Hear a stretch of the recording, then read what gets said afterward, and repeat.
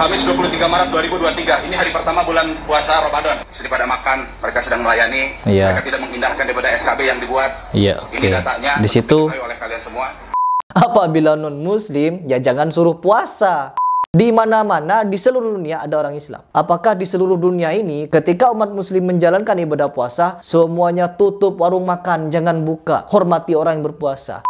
Bismillahirrahmanirrahim. Teman-teman, di bulan puasa ini terkadang kita menjumpai beberapa orang yang mungkin dia peduli kepada agamanya atau mungkin dia itu memiliki pemahaman yang lebih ketat terhadap agamanya. Sehingga dia melakukan tindakan-tindakan yang mungkin di mata orang awam atau orang yang belum paham atau juga orang non-muslim dia sebenarnya tidak tepat. Atau juga ada orang yang alim mungkin yang paham dengan ilmunya akan melihat fenomena itu sebuah yang riak atau yang sia-sia. Baik, di video ini saya ingin membahas tentang ada suatu video di mana di situ ada dua laki-laki yang menggerebek salah satu restoran atau rumah makan yang katanya rumah makan itu tidak menghormati, tidak menghargai orang yang sedang berpuasa karena di siang bolong dia malah buka. Lalu bagaimana hukumnya untuk melakukan tindakan seperti ini? Coba kita reaction dan langsung kita beri tanggapan nanti.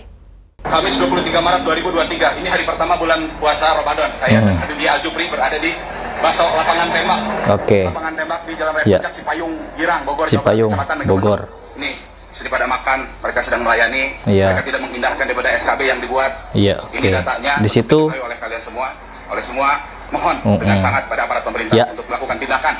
Demikian. Assalamualaikum warahmatullahi wabarakatuh. Oke, kayak gitu ya videonya ya. Dari video tersebut kita bisa melihat ya teman-teman bahwa di situ memang terlihat mungkin dengan sengaja orang-orangnya itu makan siang dengan santainya. Tetapi kita bisa lihat di situ ada orang-orang juga yang tidak syar'i. Tidak syar'i yang saya maksud adalah mereka tidak berjilbab, mereka tidak menggunakan pakaian secara islami. Bisa jadi ya, di sini kita sebagai muslim tidak boleh di dalam beribadah merasa diri kita itu harus dihormati, dihargai dan orang-orang non-muslim atau orang yang ingin mencari nafkah pada siang harinya untuk menjual makanan itu harus kita larang. Tidak ya, karena mereka juga membutuhkan nafkah untuk anak istrinya, untuk keluarganya, untuk dirinya sendiri, bahkan untuk memberikan THR kepada karyawannya. Itu kita sebagai muslim yang baik tidak boleh memangkas pendapatan mereka atau penghasilan mereka. Karena ada banyak hal yang bisa membuat orang tidak diwajibkan berpuasa, ya. Contohnya, wanita yang sedang berhalangan. Itu boleh makan di tempat umum. Contohnya juga orang yang sedang musafir. Bisa jadi memang orang yang muslim berpenampilan agamis tapi boleh makan siang karena apa? Karena mereka musafir. Tidak apa-apa untuk tidak berpuasa bagi musafir. Begitu. Terus yang ketiga, bisa jadi di situ yang makan adalah orang yang non muslim. Begitu rumusnya. Jadi tidak boleh egois. Kita sebagai seorang muslim, kita tidak boleh egois untuk memutuskan rezeki orang dengan cara hormati yang berpuasa. Jangan jualan di siang hari. Ini tidak boleh. Ini namanya muslim yang gila hormat. Ya, untuk beribadah, untuk berpuasa saja kepada Allah, kita harus minta dihargai dari orang lain. Tidak perlu. Bahkan anak saya yang masih umur 6 tahun,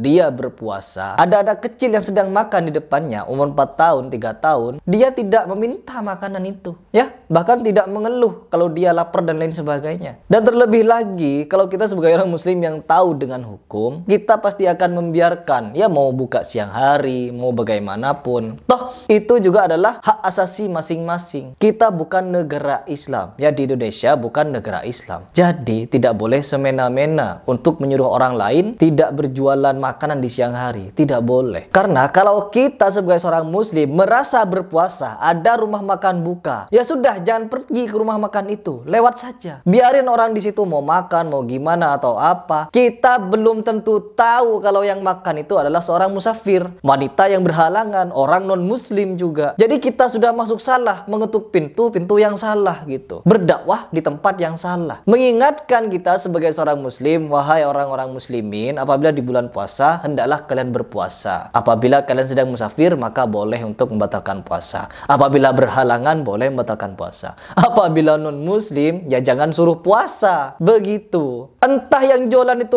muslim atau non muslim, mereka berjualan bukan untuk menyuruh orang lain buka di siang hari. No. Barangkali ada musafir, barangkali ada orang yang berhalangan, barangkali ada orang non muslim pengen makan, lapar gitu. Dipersilahkan. Sekalipun yang bekerja di situ sedang berpuasa, sekalipun yang di situ yang punya restoran adalah orang muslim. Karena hukumnya di situ mereka berjualan bukan untuk mengajak orang lain tidak menjalankan ibadah puasa. Begitu. Jadi tindakan-tindakan seperti ini ini seharusnya tidak boleh. Siapa pun orangnya dan di mana pun dilakukannya, kita sebagai seorang muslim tidak akan membenarkan tindakan seperti ini. Seolah-olah orang yang jualan makanan itu adalah pendosa. No, karena mereka juga menjual makanan untuk kebutuhan, memberikan THR mungkin, menggaji karyawannya, berniat berjualan, siapa tahu ada orang yang tidak berpuasa, maksudnya tidak berpuasa, berhalangan berpuasa, seperti yang saya sebutkan tadi, jadi bisa makan di tempat itu. Jadi tidak boleh berprasangka buruk kalau kita berpuasa tutup semua rumah makan. Ya nggak boleh. Di mana pun di Indonesia, di Papua misalkan. Di Papua juga banyak orang non muslimnya. Tutup semua warung makanan.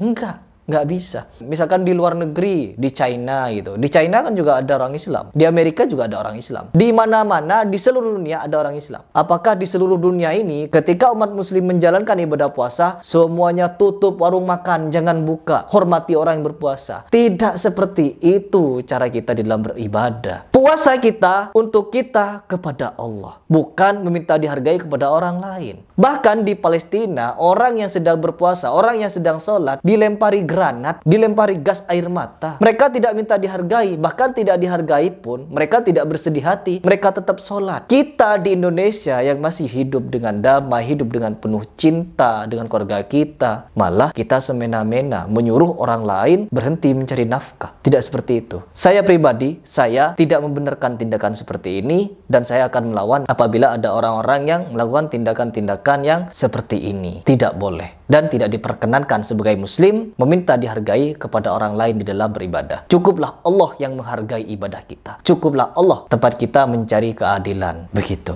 Baik teman-teman, mungkin itu saja yang ingin saya bagikan di video ini. Semoga video ini bisa menjadikan kita saling mengajak dalam kebaikan dan tentunya dalam jalan yang benar dan sabar. Saya Heri Pras mengucapkan salam.